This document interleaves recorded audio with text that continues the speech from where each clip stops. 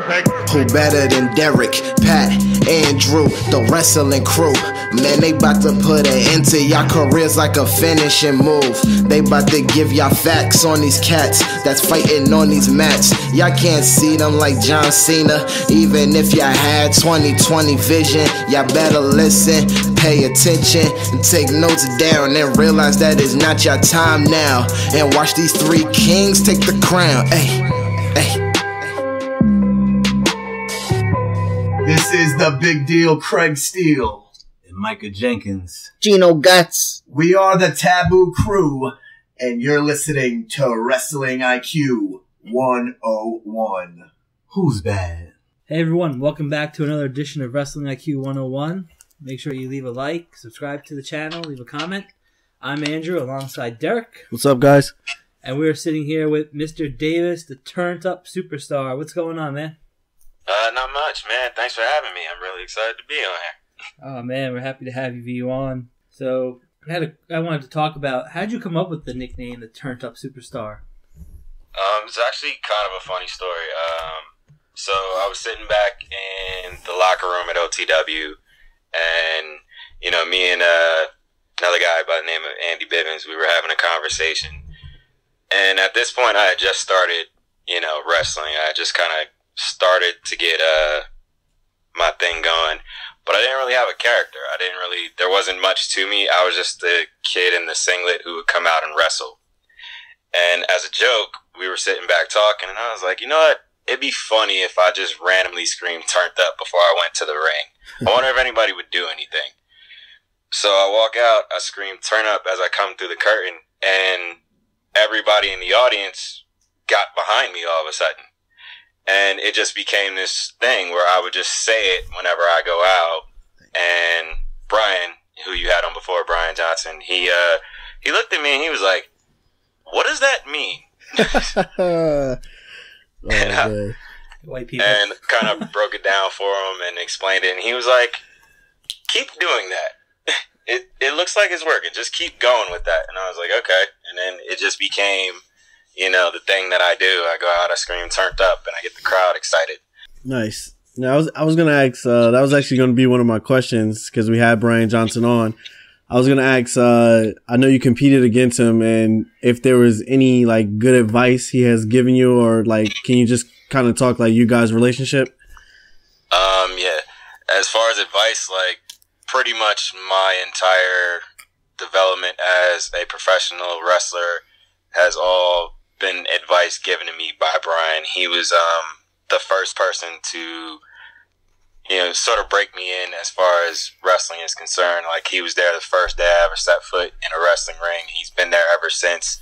Um, he's given me advice as far as like being a professional in the locker room, just how to carry myself when I go to outside promotions, how to carry myself when dealing with other wrestlers, you know, in the industry, or just even setting the example for the younger guys who are now getting into the locker room and want to be, you know, at you know or in the main event scene. So um, yeah, he's given me tons of advice that I you can't put a price on that. Plus, he's just a great guy overall. Yeah. Can you can you kind of tell us um how you got started as well? Like like how long have you been wrestling and how you got started?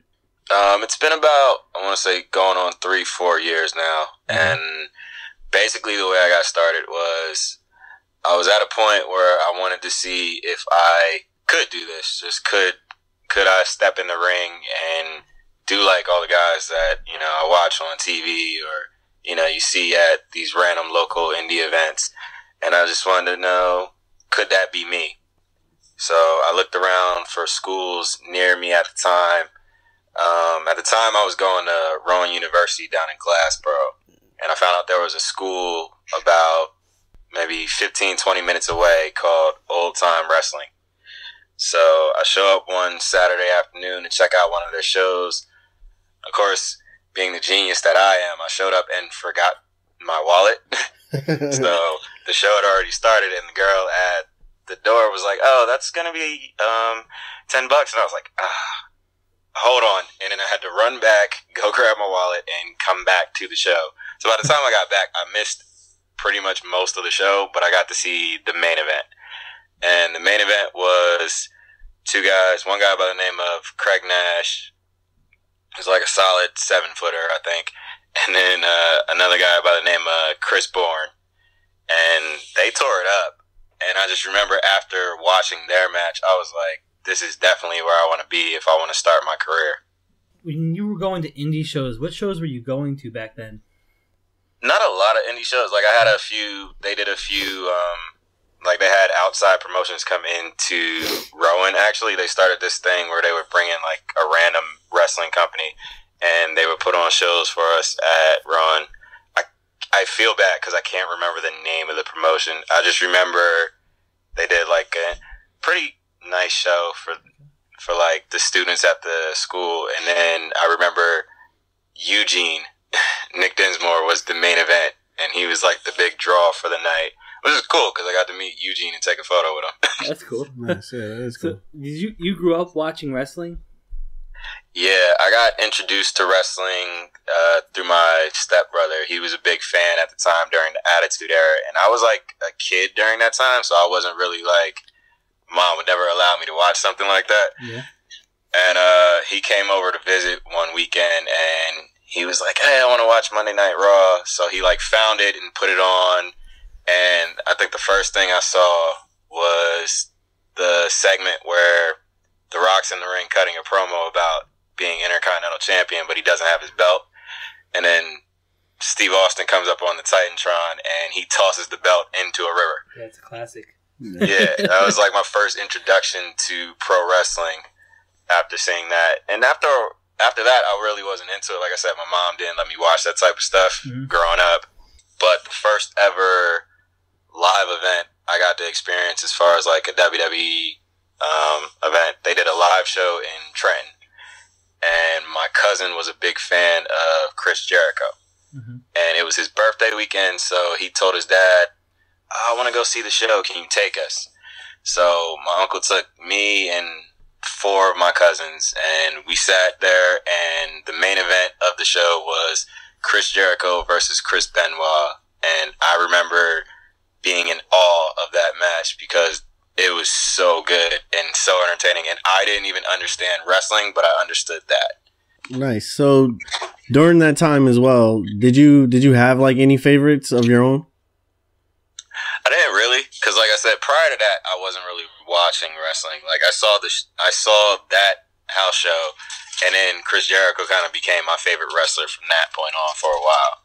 And then when I got into the show, I started to like, you know, I got into like the Hardy Boyz. Were like, I was big fans of them. Um, who else was that? Like, I really, I really dug Stone Cold and The Rock. The Rock was like probably one of my biggest favorites because just he made fun of everyone. and he was like the personification of cool in my eyes. definitely, definitely. It's funny you bring up the Hardy Boyz. You actually competed in a TLC match. yes, actually. How Um, how grueling a match is that? Or Was it was it fun for you or something? You know. I mean, it was fun and painful at the same time.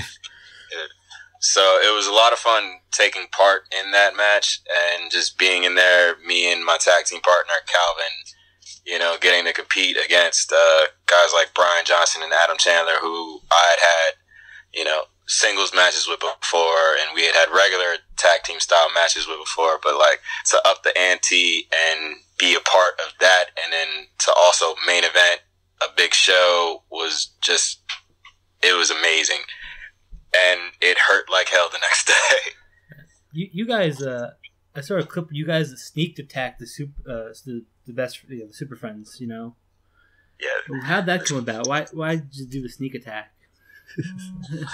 well i mean granted you know going toe to toe with the guy the size of adam chandler doesn't always seem like a good idea like it's noble it's very noble to step in there man to man one face up but that that guy's huge Yeah.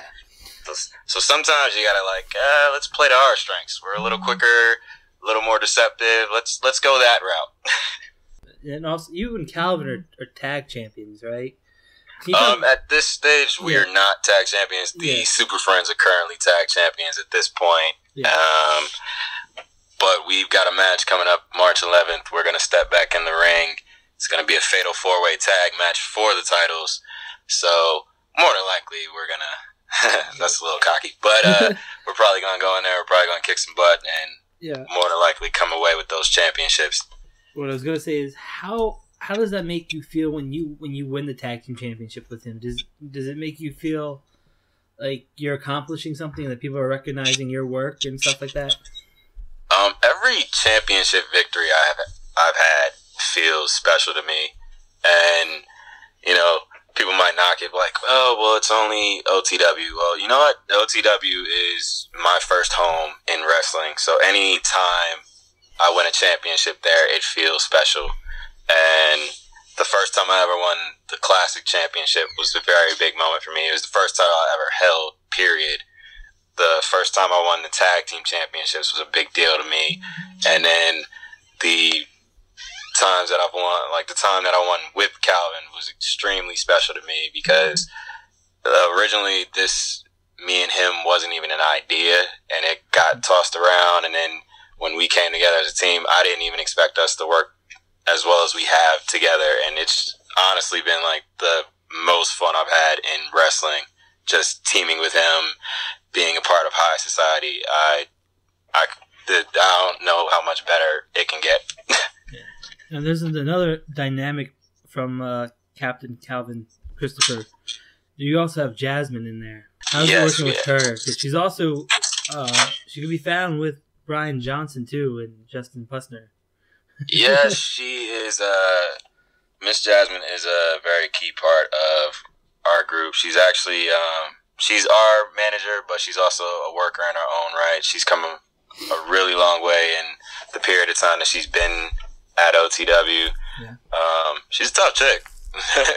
I've seen her get her butt kicked a lot and still come back like ready to learn, ready to work. Um, she does work as a manager for One Mean Team in a lot of places they go. She's, you know, the manager for BTY in a lot of places where they go. She she can do it all pretty much. So like talking, working in the ring, she's definitely come a long way. So like with us exclusively at OTW, like I said, she she just adds that piece to the group. I feel like in a lot of situations, like whether it's with one mean team or if it's with us, having her in the mix changes up the appearance of the group and to me makes it a lot better. Now, uh, I wanted to kind of go back to when we were talking about the uh, TLC match because you uh, you also participated in uh, a last man standing match as well. Uh, I just wanted to know when you get those opportunities, do you enjoy those type of matches, like you know the special gimmick matches? I enjoy them because they, because any type of special stipulation match that you throw out to the fans definitely gets them a little bit more interested, especially because the last man standing match came as the culmination of a very long feud I've been having with Andy Bivians for the Classic Championship. I believe we were in a best of five series, and it was uh, two to two. This was the last match. Whoever walked away was champion, and yeah, we we beat the crap out of each other, and the crowd loved it. I walked away with the victory, held that championship high above my head, and just the feeling of that excitement and that rush was just undescribable. And then, of course, like the TLC match, like I said, high stakes, high stipulation with probably two of the best guys I've been in the ring with as far as competition wise and just pure excitement every time we do anything like that. And, I also wanted to ask, um, you know, having the classic championship as well as having the tag team champions, um, do you think there's like a, a significance or an importance when it comes to having title belts? Being that you're, you know, you're relatively new into wrestling. I know we talk to like a lot of guys who are like veterans and they kind of feel like, you know, oh, titles don't really mean anything. I just want to kind of get like, you know, a perspective from someone who's relatively new into wrestling. To me, um, those who say that titles don't mean anything, I, I feel like you don't appreciate the title itself. Like I, I know a lot of guys will say, well, it's a title coming from this promotion, or it's a title like this is just an indie. It's not that big. It really doesn't matter until you're like on a like a main stage. My reply to that is like, well, it might not seem big to you because you want to go to the big stage, which is fine. Every competitor who steps in the ring should feel that way. But to me, I like to live in the moment. Like mm-hmm. I don't know if making it to you know a big name promotion is in the cards for me. So I enjoy every time I get to compete in a ring for whoever it might be, whether it's like two people in a warehouse with no heat or no, you know, AC in the summertime and I'm competing for a championship that's, you know, or um competing in front of a crowd of like, I don't know, like 200, you know, like to me every moment in the wrestling ring is something special and it's valued to me personally. Definitely. Now, if a veteran says mm, that's just how they feel personally, but me, I care about every championship, every match, every fan who paid to see me. Nice. And I think uh kind of like kind of like the way you put it, uh you know, like you saying you're at OTW like that's your home and you know, you value every championship. I think that you you can kind of see that in wrestlers and the passion and the hard work they put in and I think that that's like a good perspective to have, you know, when you're in the independence like that. Yeah, man, you gotta you gotta appreciate what you have and where you're at, because like not everybody's gonna make it to the top. So there's like what? How many guys is you know like WWE for example? How many guys do they turn away on a regular basis? So You know, like there's what? There's a lot of indie names that we could probably name off the top of our heads who were sitting back like, yeah, man, why won't they sign that guy? Or why won't they give this team a chance? Or why won't they call up that girl? yeah. Like, there's a lot of them. And it's just like, and those are just like the good big names that we know. There's so many more wrestlers out there like myself or, you know, even less to just don't get that chance or might never make it. So you gotta appreciate it while you got it. Like enjoy to me, if you enjoy it while you're in it, then that's all that really matters. Like making it to the big stage, yeah, that's cool and that's awesome. Like that would be incredible if it took place, but if you're not enjoying the journey on the way, then yeah, what's the point? So, can you talk about the evolution of uh, OTW from when you started to now? Um, And- yeah. And So when I got going as in OTW, it was um they had a few they had a few guys that were pretty much their top tier guys. Um, everybody for the most part prior to me getting there had been there for a few years, so they they kind of had a nice group going as far as in ring competition. Mhm. Um, yeah, Brian Brian was head trainer at that point, but he kind of I think he was dealing with like an elbow injury when I first got there because he didn't get he didn't he wasn't hands on as far as helping the other guys in the ring. He would he would bark orders for a while, but he wasn't able to get in there and like show you like no this is how you do it this is how you know proper technique. Um, but yeah, shortly after I got going, he got back and he was good, and then got to lock up with him, and that's where you really start to like get the feel for it when you're in there with somebody who competes constantly and they're like, no, if you move this way and then you do this and then your technique should be like this and then that's where you really start to pick it up and that's where I felt like I started to pick it up when it got going. Um, so yeah, it was when we first got going when I started our locker rooms like we're in a warehouse pretty much. Uh, when we first got going, they used to put the locker rooms by the garage door Mhm. and it was just like a bunch of big wooden planks that they had stacked up to make two makeshift locker rooms. So baby faces on one side and then uh, heels on the other side, and we had carved out like a little window between the walls in case you needed to talk to the guy you were gonna wrestle. And uh, so, like I said, like we were by the garage door. So in the wintertime, um, if it was snowing outside, you know, it was freezing, and you know, you're half naked because you're dressed in shiny underwear, ready to go out there and compete. And in the summertime, it was on fire. Uh, we would crack the garage, but you can't crack it too much because then the fans can see you, and it was it was uh, it was all over the place. Um, but where we are now, you know, we we relocated. We've added a little bit of stage design and a little bit more production as far as like you know, there's curtains, there's lighting. Uh, we've stepped it up a little bit. I mean, we're still in a warehouse, but you know, it's a it's a prettier, cleaner warehouse. Can you talk about when you look back on when you first started? Any any pivotal moments through your transitions that stand out to you? Like, wow, I'm actually getting this. Um, when I got put into the program with Andy, where we started competing for the Classic Championship, that was where I really started to feel like, all right, I'm starting to understand this. When he and I, for a while, when he and I would compete, we would bring out the best in each other. Like it would, he always encouraged me to step up my game in the ring, and I always feel like I brought something out of him because of how passionately he cared about what we were involved in. Um, so yeah, just at that stage in my career, I felt like I was starting to understand it better, and then getting to team with uh, Chris Bourne when he came back and we had a one-on-one match at a night show, and just being in there with him, you're just like, wow, this dude flies all over the place. Like everything he does is incredibly seamless and just being able to learn with him. And then from there, we became a tag team, and we ended up winning the tag team championship together. So that was probably the best as far as like, as far as a baby face run. That was probably the best I had going because we were an exciting tag team and we'd fly all over the place. And I got to learn a lot from him, so that helped me step my game up even more. And then to where we are now, I made the transition from being a baby face to being a heel, and then now I feel like I have a better understanding of just being in the ring and being in control of what happens in a match.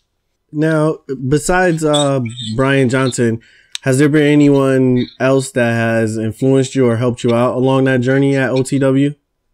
Yeah, there's been a lot of people. I'm I'm lucky. That locker room has some really smart guys in it who are there to just help and give advice all the time. So like Brian obviously is you know, the main guy who's helped me out. But right after him is like Justin Pusser.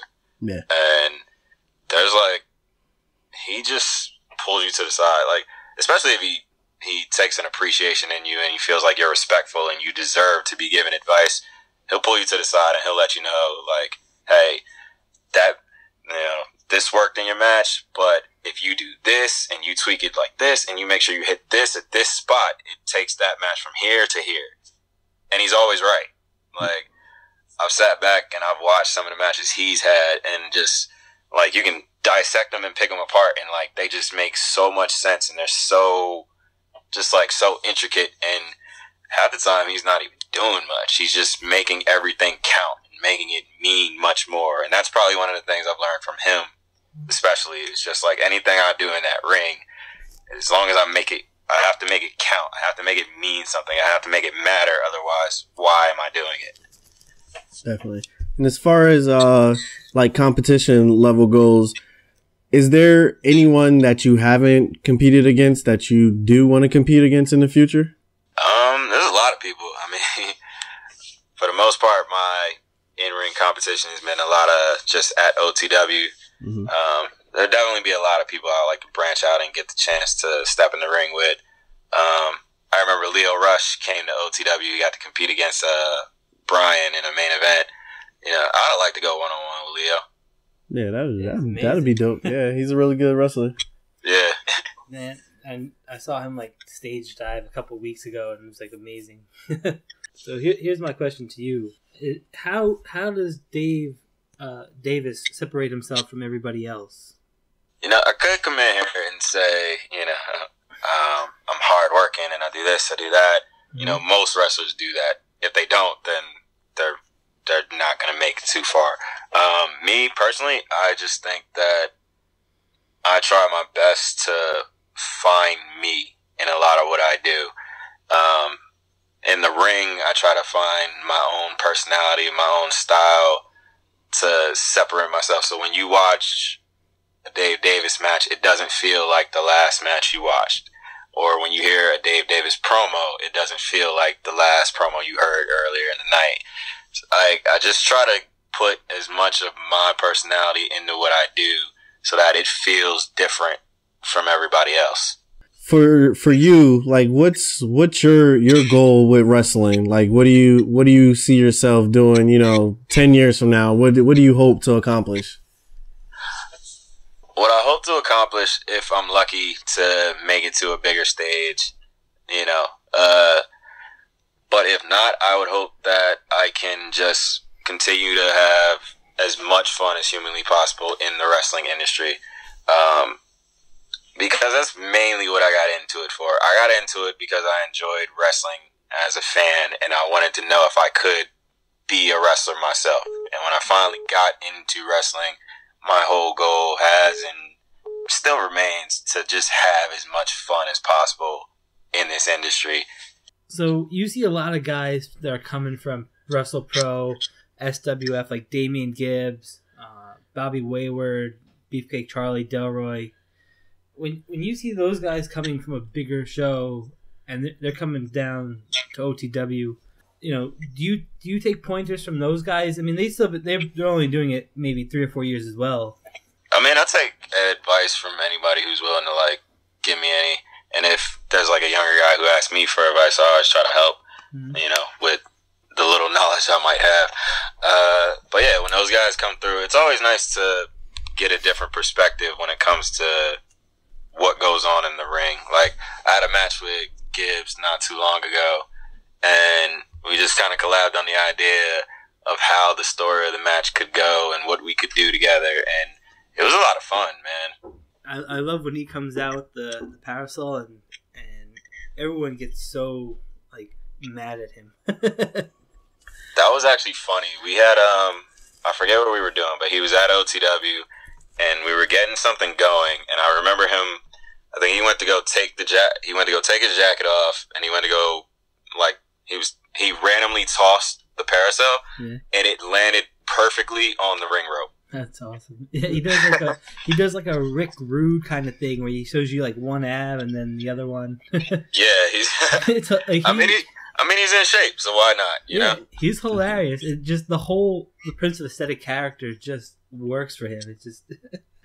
You have any good like stories, uh, like that you could share? Any like funny stories that have happened to you, or Um let me think. Uh maybe while far as- driving, while driving, or hanging out in the locker room or something? Uh, man, I I know I do. I'm having trouble thinking of them right now. Um, let me see. There's been a there's been some fun road stories. Just getting because usually um when I go out on the road, it's usually with uh BTY. So I'm in I'm usually in the car with uh Justin Pusser, Brian Johnson, Adam Chandler, and uh Miss Jasmine, and putting those guys together in a car. I'm usually the driver because I'm low man on totem pole. Putting those guys together in a car and just letting them talk is probably the funniest thing I've ever been a part of. Because all they do is find ways to just mess with each other, or primarily to mess with me. You got you got to put like a camera in there and do like one of those ride along episodes. I don't know if they could air that on the network. Uh, it's not very family friendly. Upload it yourself. It'd be it'd be hilarious. I, I don't know if they would go for that. They might throw me out the car. Oh man. Now, when you when you were uh, in college, when you were at Rowan, uh, did you like participate in any sports or anything like that? No, ironically, I really wasn't much of an athlete um, prior to getting into wrestling. Like as a kid, I played like all different types of sports. Yeah. Um, but growing up, I was kind of shy, so I didn't like to socialize or like go out and ha- you know hang out and play anything. So like, I want to say from maybe like fourth grade until I graduated high school in, into college, like I didn't play any sports, like Okay. none. Um, no, wait, no, I was I was involved in martial arts a little bit, but not very long. Maybe like a year of that, just to like keep me busy. But uh, yeah, didn't really get to play too many sports as an adult or teenager. I got you. How how did you overcome your uh, your shyness and now you're like wrestling in front of fans and stuff? Realized that being quiet and antisocial wasn't going to get me through life. yeah. as shocking as that might be. but uh, Yeah, I found my I found ways of just making myself uh, socialize with people. So like I would find reasons to like put myself in groups or in certain situations where I would have to speak to someone or I'd have to interact with this person. Gotcha. And once you get to that moment, then you start to realize how easy it is to just strike up a conversation with someone you don't even know. Yeah, definitely. So yeah, so like I've done like I do this nowadays and like my friends and family hate me for it. But uh if I'm in an argument with someone and I feel like my opinion is so right to the point that I can literally grab somebody off the street and they'll agree with me. Mhm. I grab somebody off the street and ask them the question. oh my god. I've been I've been out in malls, I've been at movie theater, I've been at like random concerts, like a comedy show. If I feel strongly about my opinion, no, I'm gonna ask like, oh, you don't agree with me? Okay, sir, can you come here real quick? oh my goodness, that's funny. You you sound like you'll be best friends with Andrew here. You guys you guys will get along real well. oh man. Now now I wanted to ask you as well. Um, have you is OTW is that the only independent company you worked at? Have you ever like wrestled outside of OTW? Yeah, I've been outside of OTW a few times. I've um I've done a couple shows for uh, D2W up in Wharton, New Jersey. Uh, I was doing a few shows for uh, Right Coast Pro, which is a- wa- is a promotion out in Delaware. Um, I was competing. I did a spot for um, I think it was BBW was the name of the promotion. I hope I said that BBWF? right. Say it again. BBWF. I think so. Yeah. Yeah. I, I only got a one shot. So, Oh, okay. but um, Now, when you yeah. So when it when it comes to stuff like that, do you do you kind of look at like you know like like the bigger companies, like let's say like a, a CZW or like a Wrestle Pro, when you see guys you know like going to TNA and WWE from those places, or is it kind of like one of those things where you know you just you just look at just getting work basically and being seen somewhere? Um, yeah, um, I think that's the whole point. Is just like you're going to these different places so somebody will see you, Yeah. and you know you're trying your best. That's why you try to branch out and go to different places just so you can get different eyes on you. Because even though you know at OTW, you know we wrestle every single weekend uh, at 2 p.m. We put on monthly shows at 7 p.m. You know, it's still that same general fan base that we get. Yeah. And so going out to other places helps other people see us. And, you know, you go up to North Jersey and there's somebody at that show like, oh, well, wait, you wrestle down here? Oh, I'll definitely come check you out.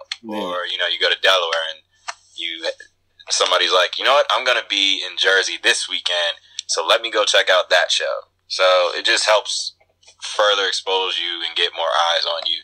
And that helps build the brand. Definitely.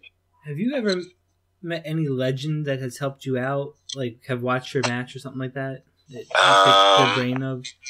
I've had I've done a couple of seminars uh, with a few different wrestlers. Um, one of my first ones, uh, we had uh, Gerald Brisco come in Wow. and check a few guys out at OTW.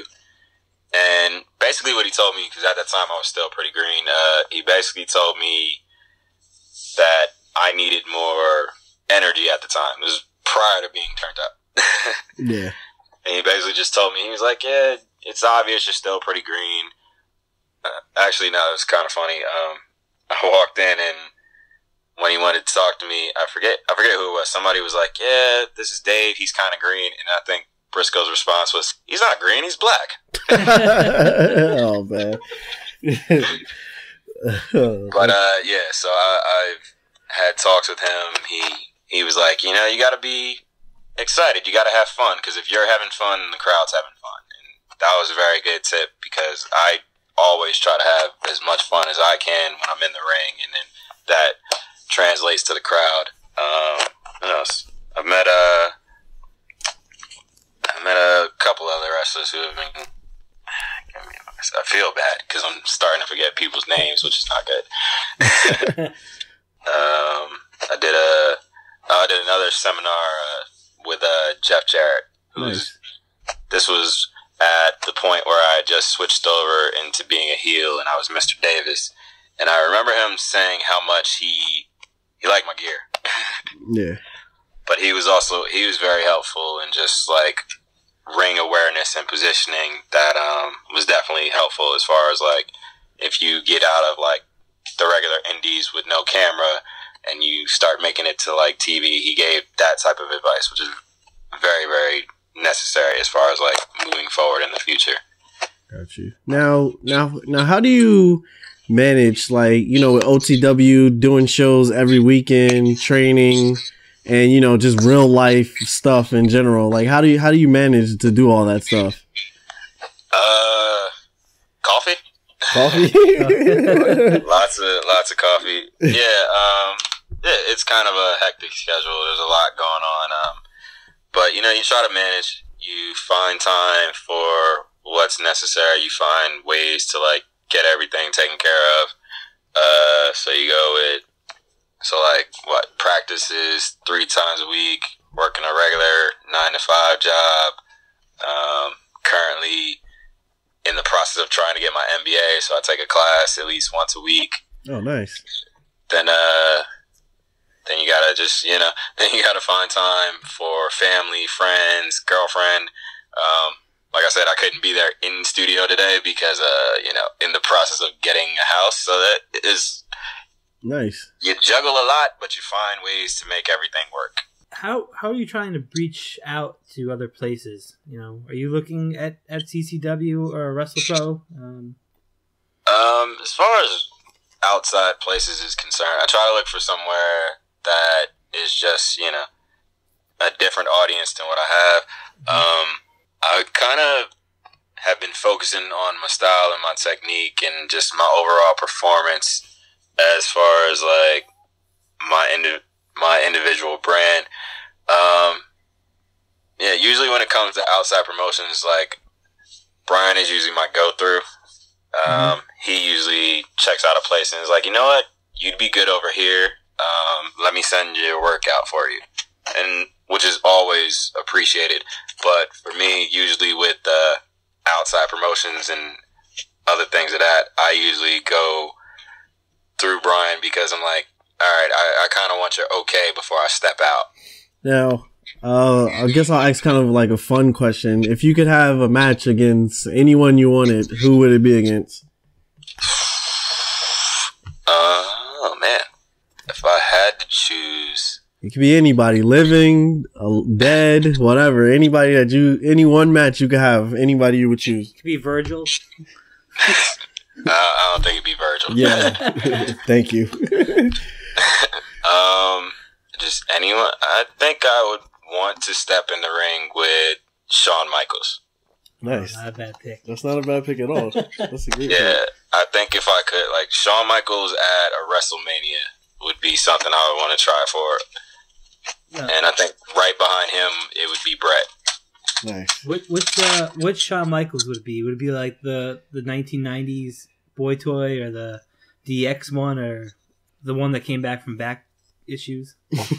I want to say the one that came back after the back issues because when he came back, it was insane. Like, first of all, like what he had like a herniated disc, came back and wrestled for what another nine years. Yep. Yeah, that's crazy. And he never missed a beat either. It was crazy. Yeah. Like, I want, I want that, Shawn. See, I thought, I thought, I thought you were tapping into your inner heel, and you were going to say, "Oh, I can focus on his back and take him out." That's what I thought you were going to say. Well, I wouldn't say that I wouldn't do that. I, I just said that you know it's very admirable that he did that. Yeah, I got you. I would want to team up with the DX Shawn Michaels. That seems like fun. so talking about WWE, who are the, some of the guys you look at now for inspiration, like coming up with move sets or ideas or something like that? Um, as far as watching WWE nowadays to look for inspiration, I like. I really dig the New Day. yes. in all honesty. And I think they just do a lot of fun, creative stuff and things that are just different as far as like style wise. And like, that's what I think inspires me when I go into a promo and then standing next to Calvin. I don't know where his stuff comes from, but like he's always off the wall, and so that makes for a fun dynamic. And I feel like, in the sense of like a new day who's like an insane promo that's just off the wall, I feel like we have that dynamic whenever he and I are together. Uh, but yeah, in ring style, I mean, I don't know. Like as far as like style wise, I think I just cry. As of now, I kind of just you know kick, punch, and hurt you as best I can. Nice. It was funny because I was watching a match and Calvin he didn't take the hat off. No, I was like, why would he? I just thought that was like so funny. Like he's wrestling in the hat. Like It's a very stylish hat. yeah, I, I agree. I just like to me that's just like I don't know. I mean, it's just like that makes him stand out to me. which Yeah, he's is a awesome. grown man in a captain suit. Yeah, I just think that. I bet you would take notice of that. Yeah, uh, I just thought that was funny because usually people come out in the ring and they start they take off the hat and the jacket, and I'm like, yeah, this guy's wrestling in his gear, like that. That's pretty awesome. That's something unique, you know, to him. yeah, he's definitely he's definitely different. How did how did that team come about? Was it something you pitched or something that was pitched to you? Um, it was an idea that was actually pitched to me. Um, when I transitioned from being a babyface to a heel, I originally they didn't give me the full like this is what we want to do with you. It was kind of like you know me and Chris were tag team champions at the time, but we started not seeing eye to eye, which led to my turn, which led to um, us competing in a match together, and then I was told a couple weeks prior to that, oh, when you compete in this match, this is going to happen with Calvin and Jasmine. And then I was like, oh, okay. So that's, they just come and help me out. And that leads to a thing with Calvin and Chris. And he's like, no, that leads to you guys forming a team together. Mm-hmm. And I was like, really? And he was like, yeah, I want to put you with them and we're going to make a group out of this. And I was like, awesome.